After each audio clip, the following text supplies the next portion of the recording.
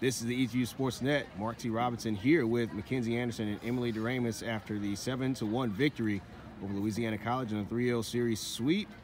And uh, so, Emily, just kind of talk to us about uh, the pitching. You got the star in the circle today. Uh, what has helped you to be uh, so successful and help your team come away with the win today? Um, it's really nice just to know that I can just relax up there in the circle because my defense always has my back. Like I know if the ball's put in play, my defense is going to give their best effort, and it's just a great feeling as a pitcher to know that.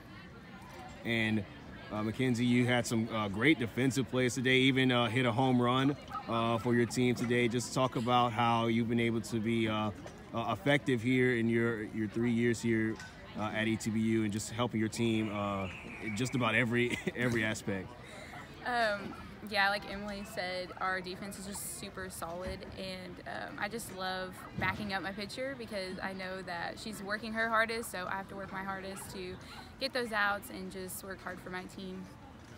Excellent, and you guys are 14 and 0 now, 9 and 0 in conference. So, uh, what are some areas um, that you feel like you guys can uh, continue to build on and continue to just improve on here at this point uh, of the season? It's still early for you guys, but uh, what are some of the things that you're seeing as a player?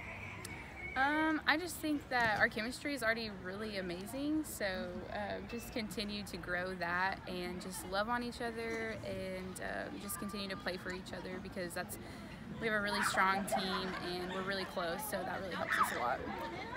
Excellent. All right. Thank you guys. Thank this you. has been Thank ETBU. Sportsnet.